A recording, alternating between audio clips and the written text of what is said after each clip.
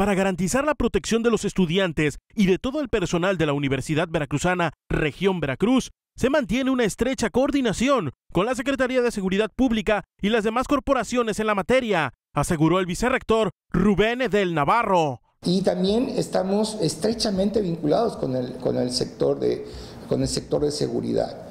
Eh, cualquier contingencia que se, que se presente con un estudiante, con cualquier integrante de la comunidad académica, estamos alertas para poder brindarle todo el respaldo, todo el respaldo posible. En ese sentido, yo lo que les puedo transmitir es que los estudiantes pueden regresar con tranquilidad a su campus.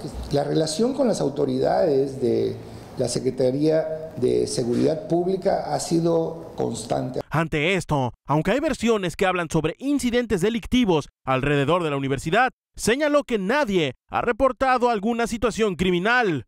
Eh, yo como vicerrector no recibí un reporte por parte de algún estudiante, por parte de algún académico o algún administrativo que haya tenido alguna contingencia alrededor del, campus, pero siempre estamos alertas, atentos a cualquier necesidad. Edel Navarro dijo que si algún estudiante o trabajador de la región Veracruz es víctima de una situación de esta clase, lo dé a conocer a las autoridades académicas para poder apoyarlo, pues las puertas siempre estarán abiertas.